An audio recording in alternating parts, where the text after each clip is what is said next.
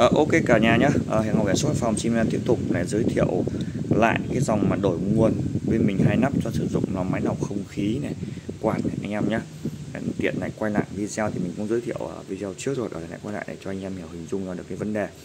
Vì một số anh em cũng không vẫn chưa hiểu về công suất tiêu thụ của một thiết bị các bạn nhé thì mình xin chia sẻ cho anh em nào chưa biết thôi nhé tức là công suất thụ tất cả các cái máy đồ điện tử các thứ ấy, thì các bạn xem phần ở tem thông số nó đều ghi cái thông số tiêu thụ, ví dụ như là 30 40W 50 60W 70W như đèn điện này 100W 200W thì anh em muốn sử dụng các thiết bị đổi nguồn để chạy cho một thiết bị độ giả sử một cái quạt nó rơi vào tầm 43W các bạn nhé, thì các bạn phải sử dụng một cái đổi nguồn cao hơn, ví dụ tầm 54 60 70 W trở lên để nó đủ công suất nó tải cho cái thiết bị của nhà của các bạn, anh em nhé. Có những nồi cơm công suất nó 1.200 1.300 thì các bạn phải sử dụng tầm nghìn rưỡi, anh em nhé để các bạn dễ hình dung. Đây, ví dụ một con máy, đây là con máy lò lò vi sóng của thương hiệu Sáp các bạn ghi đến nó tầm 1460W thì anh em nên dùng cho mình cái tầm 2000 thì nó dư giả ra một chút, bởi vì mình còn trừ hao về vấn đề là hao phí nữa, các bạn nhé thì nó sẽ chuẩn hơn. Thì thường thường bên mình hay tư vấn cho mọi người là anh em cứ mua thiết bị cao hơn một chút ví dụ một thiết bị uh, hàng Nhật nó ghi là 1400W các bạn nhé. Thì bạn đi mua cái 2000 bạn trừ đi lấy 80% của 2000 thôi thì nó vừa tầm 1600 anh em nhé lấy hệ số lấy 0,8 thôi. Đấy, thì anh em sẽ trừ hao đi là vừa. Còn cái dòng mà mình giới thiệu lại cho anh em hôm nay là cái dòng sản phẩm để anh em lắp cho hệ thống lọc khí và quạt. Là công suất tầm 80W đổ lại các bạn nhé để anh em lắp cho gia đình. Thì đang đang đây có ba cái dòng một cái dòng gọi là công suất. Đây các bạn nhìn nhé. Đây công suất nó ghi này. 80 VA các bạn nhìn cho mình nha 80 VA các bạn nhé.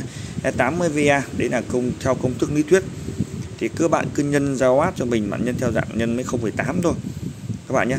Đấy, trừ hao phí đi thì là tầm được 8 064 được 64W thì với một con đường nguồn 64W này nhé đấy hoặc 80VA nó cũng xiêm xiêm cho nhau.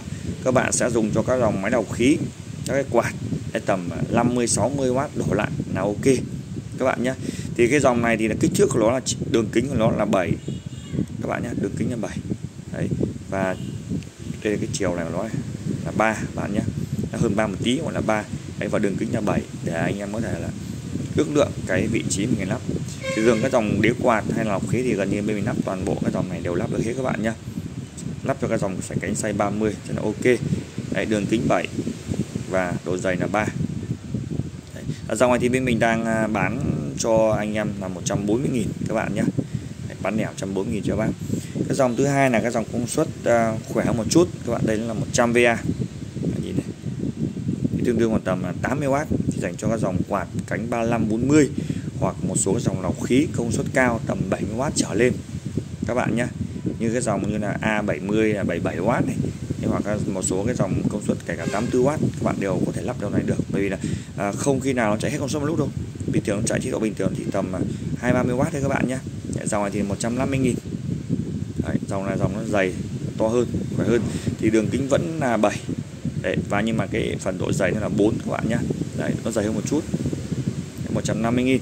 À, tiếp theo là một số anh em là không muốn phải tháo nắp bên trong gây uh, ảnh hưởng đến vấn đề thẩm mỹ hoặc là nó không không an toàn, thì anh em sử dụng mình cái dòng đời nguồn ngoài này.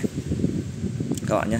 Đây thì đường kính chiều cao là 7 cm và đường kính là 55 cm cái dòng này ta gọi là dòng ổ cắm ngoài, các bạn nhé. Thông số con này là, cũng là 100 VA tương đương với tầm 80W anh em dùng cắm một, trực tiếp vào ổ điện của các bạn.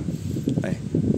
Một số ổ điện nó bị chặt, các bạn có thể đánh à, doa đi cái này tí nó để nó mỏng một chút, các bạn ấn vào ổ điện đây là cái khóa chống trượt chống gãy chắc chắn anh em nhé. Đấy để em cắm vào tường và em cắm thiết bị vào đây. Đấy, anh em sử dụng cho các thiết bị công suất thấp tầm 80W trở lại các bạn nhé. Là ok. Như là lọc khí này quạt này hay một số dòng ghế massage không một số cái dòng như là máy à, tóc à, cạo râu hay là gì gì đó các bạn nhé. Cứ 8 rồi lại ok. Các bạn lưu ý. Thế một số anh em lại mang cái con này cắm vào cơm điện. Có có một số bác cắm rồi. Đấy, cứ mang cái này tôi bác cứ nghĩ là cứ 100V là bác cắm thôi. Bác mang bác cắm này vào cơm điện để tránh khét đen đi vì nó không đủ tải. Nó chỉ bằng 1 phần 10 làm sao không tải đấy các bạn nhé dòng này là dòng uh, uh, dây nhôm các bạn nhé tại vì cái dòng lắn ngoài thì người ta làm dây nhôm. Đấy còn cái dòng gắn trong này tất cả là dòng nõi đồng dây đồng các bạn nhé đấy dây đồng hết đây các bạn nhìn đây là tất cả những cái đổi của bên mình từ trước đều lắp đấy còn về quạt lọc khí thì bên mình không đổi nguồn bằng tụ hay các thiết bị khác các bạn nhé. Mình toàn đổi nguồn bằng nguồn chứa căn trong này để anh em sử dụng.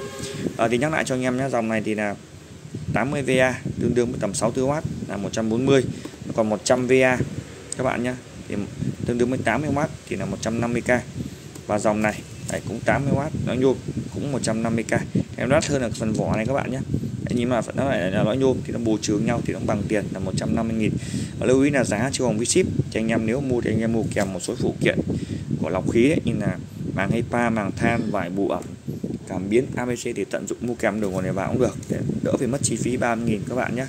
Đấy, anh em cần alo 0979 665 264 Ok chào cả nhà ở những video sau.